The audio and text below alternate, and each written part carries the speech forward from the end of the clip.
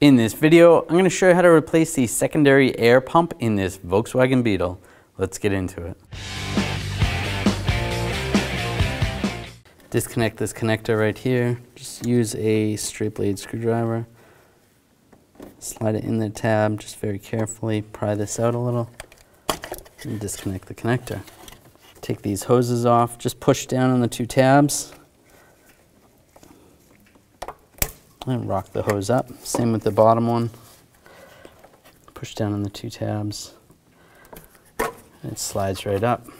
We're going to take this bracket off, use a hex key or a hex bit, a 6 millimeter. Take this bolt out.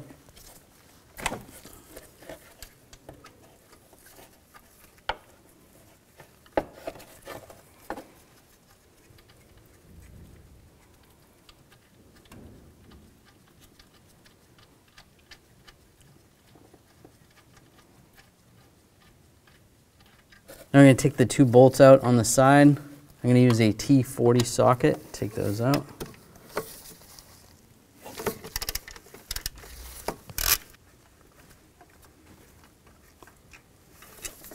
Disconnect this wire right here. Just a little tab right there. You can use a trim tool or a screwdriver. Pop that out. And the bolt is lower, you want to get that off using a T40 socket.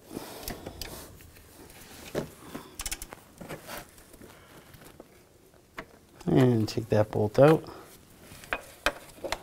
And slide the bracket and the pump right out. Now we're going to take these nuts off, use a 10 millimeter socket. And slide the bracket off the pump.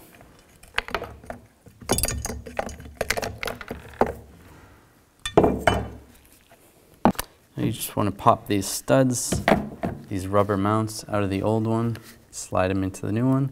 If you have new ones, that would be good. Just like that. If you need to, you can just use a screwdriver and just pry them up.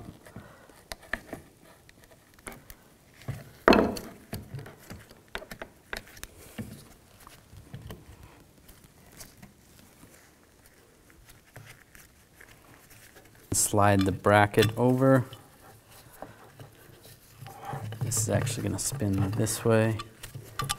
So while this is in the car like this, the hoses are going to be going upwards.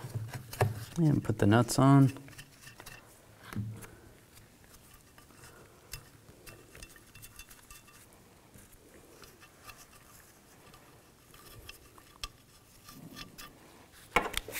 Tighten those down.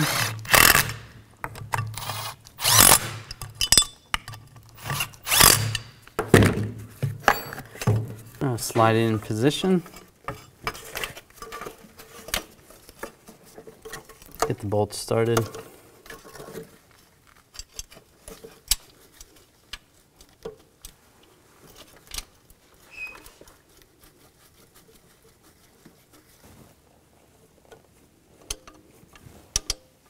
And get this front bolt in. Now we can tighten those down. All right, snug. And take this wire retainer. Oops. Lock it down. Connect the hoses. And the electrical connector, line it up, lock it down. When only the best will do, demand TRQ the only company that lets you view before you do. TRQ is committed to offering the highest quality aftermarket auto parts that are engineered for peace of mind. Thanks for using and viewing with TRQ.